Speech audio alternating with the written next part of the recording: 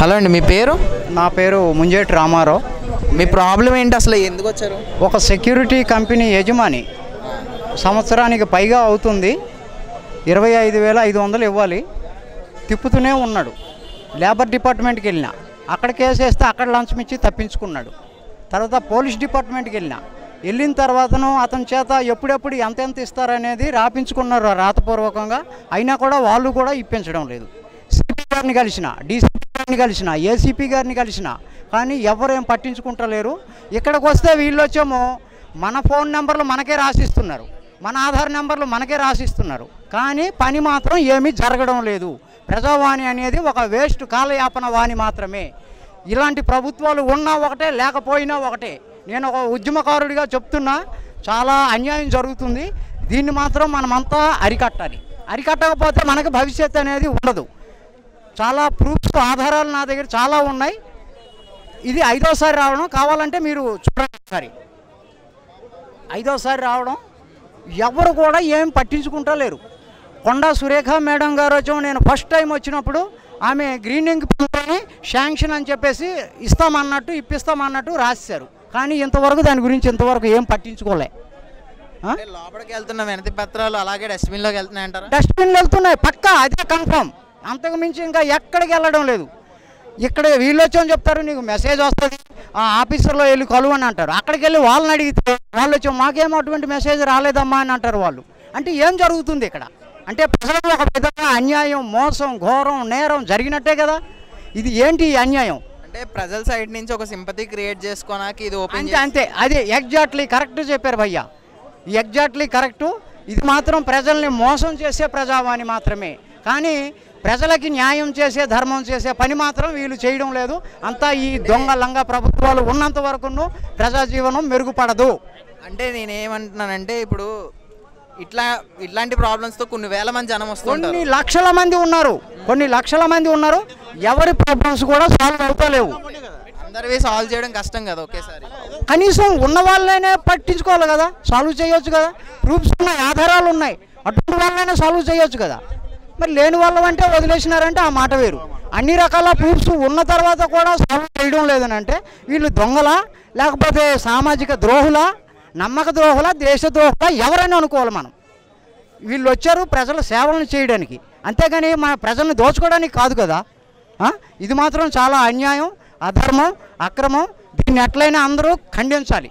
అంటే ఇప్పుడు పథకాలు ఇవన్నీ వస్తున్నాయి అసలు పథకాలు? ప్రజ పథకాలు అయితే వచ్చే ఉద్దేశమే లేదు. వీళ్ళకి ఇచ్చే ఉద్దేశం కూడా లేదు. కాలయాపన మాత్రం చేస్తారు. అంతే. అంటే ఫ్రీ బస్ అని చెప్పి అనౌన్స్ చేసి లేడీస్ అందరికీ ఫ్రీగా బస్ కొట్టుకుంటున్నారు కదా. అది ఒక పెద్ద కాలక్షేపం అయిపోయింది. సినిమా కంటే చాలా ఎంటర్టైన్మెంట్ చేస్తున్నారు అంతాను. ఈ పద్ధతి మాత్రం మారాలి.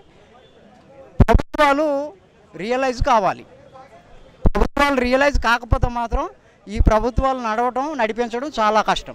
అంటే ఇప్పుడు ఈ ప్రభుత్వంలో ఈ ప్రాబ్లమ్స్ అన్నీ తీసుకుంటున్నారు కానీ అవి ఏ ఏ మాత్రం ముందుకు వెళ్ళట్లేదు అసలు ఏం పట్టించుకోవడం లేదు? ఎవరికి జరగట్లేదు. ఎవరికి న్యాయం జరగడం లేదు.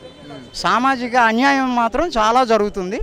ఈ ప్రభుత్వాలు ఏమీ చెయ్యవు ప్రజలకి. మరి ప్రజలు తిరుగుబాటు చేయట్లేదా? మరి అంటే క్వశ్చన్ చేయాలి కదా. క్వశ్చన్ చేయాలి కదా? అంటే గో- లోపలికి వెళ్ళి ఎక్కడ వాళ్ళని అక్కడే అణిచేస్తున్నారు ఎక్కడ వాళ్ళని అక్కడే అనగదొక్కుతున్నారు ఇది మీరు ఐదోసారి రావడమన్నారు లోపల? అడిగాను. ఏమన్నారు? అడిగితే వాళ్ళు వచ్చి సరే కంప్లైంట్ అయితే ఇచ్చి వెళ్ళండి మళ్ళీ కలెక్టరేట్లో వెళ్ళి కలవండి ఈ కంప్లైంట్స్ అన్నీ కలెక్టరేట్కి చేరుతాయని అన్నారు. ఏది కంప్లైంట్ అక్కడ కూడా చేరడం లే కలెక్టరేట్కి వెళ్తే ఏమంటున్నారు మరి? వాళ్ళు వచ్చేమో మళ్ళీ సార్ మళ్ళీ వచ్చి కలవండి మళ్ళీ వారం కలవండి ఇప్పుడు మాకు టైం లేదు అంటున్నారు వాళ్ళు. ఇప్పుడు ఉన్న ప్రాబ్లమ్సే చూసుకోవడానికి మాకు చాలా సమస్యలు ఉన్నాయి మా దగ్గర అంత టైం లేదు వచ్చే వారం వెళ్ళి కలవండి అని అంటున్నారు. కానీ అక్కడ కూడా వాళ్ళు ఏం పట్టించుకోవడం లే. ఏం చేయాలి సార్ మేము? ఈ సమస్యల నుంచి సతమతమైపోయి ఆత్మహత్య చేసుకోవాలనా? లేకపోతే బతకాలనా? ఏం అర్థం లేదు అర్థం కావడం లేదు. నేనైతే ఈ సెక్యూరిటీ ఎండి ఇంటి దగ్గర ఆత్మహత్య చేసుకోవాలని చెప్పేసి నిర్ణయించుకున్నాను. కేవలం అంటే ఇరవై ఐదు వేలు కోసం మీరు అంటే ఆత్మహత్య నా ద్వారా తెలంగాణ సమాజానికి జ్ఞానోదయం అవుతుంది. ఒక గుణపాఠం వస్తుంది. నా రియలైజ్ అవుతారు అందరూ కూడాను. అంచేతనే నేను ఈ పని చేయడానికి నిర్ణయించుకున్నాను. నన్ను ఇక ఎవరు ఆపినా కోర్టులో కోర్టులో కేసు ఆప్షన్ అది కూడా ఉంది నా నేను పేదవాడిని సార్. కోర్టులో కేసు అంతా వేసేంత స్తోమత నాకు లేదు. నాయన నా డబ్బులు నాకు ఇచ్చేయండి అని చెప్తున్నా నేను. బతిమాలుతున్నా. కానీ ఎవరు పట్టించుకోవట్లేదు. ఏం చేయాలి నేను? చెప్పండి. ఖచ్చితంగా మీ ప్రాబ్లం సాల్వ్ అవ్వాలని త్వరలో కోరుకుంటున్నాం మా ఛానల్ ద్వారా. అడ్రస్సు ఆ సెక్యూరిటీ ఎండి అడ్రస్సు ఇవన్నీ కూడా ఉన్నాయి. నేను రేపు కానీ ఎల్లుండి కానీ వెళ్ళి ఆ సెక్యూరిటీ ఎండి ఇంటి దగ్గర కూర్చొని నిరాహార దీక్ష చేస్తూ ఏమి ఆహారం తీసుకోను చచ్చిపోతాను. ఆత్మహత్య చేసుకుంటాను. మీరు ఇది ప్రసారం చేయండి ప్రజల జ్ఞానోదయం కలిగించండి. ఇది మాత్రం చాలా దుర్మార్గమైన పని. ఈ దుష్టులు చేసే పనిని ఎవరు క్షమించరు. అందరూ ఒకటైపోయి సామా సామాజిక అన్యాయానికి ఒడిగొడుతున్నారు. ఏంటి ఈ అన్యాయం? ఎవరు అడిగేవాళ్ళు లేరనే? చాలా అన్యాయం చేస్తున్నారు బ్రో. ఫైనల్గా ఇక్కడికి వస్తే ఏం జరగట్లేదు అంటారు? ఏం జరగట్లేదు ఇప్పుడు. ఐదో వారం నేను. ఇగో అన్ని డీటెయిల్స్ అన్నీ రాసినా చూడండి. అర్థమైంది. ఐదు ఐదు సార్లు వచ్చిన. ఐదు సార్లు ఎవ్వరూ పట్టించుకోవడంలే ఏమనంటే మన ఫోన్ నెంబర్లు మనకే రాసిస్తున్నారు. మన ఆధార్ నెంబర్లు మనకే రాసిస్తున్నారు. ఎందుకు? మన ఆధార్ నెంబర్ మనకు తెలియదా మన ఫోన్ నెంబర్ మనకు తెలియదా వీళ్ళేందు మళ్ళీ కొత్తగా రాసి ఇచ్చేది ఏమి లేదు అసలు అంత అన్యాయం కుట్ర దగ మోసం.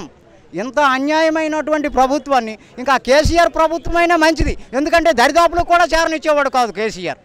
కానీ ఈయన దరిదాపులకు పిలిచి మంచినీళ్ళు ఇచ్చి మర్యాదలు చేసి అసలు ఏం పట్టించుకోకుండా మోసం చేస్తున్నారు.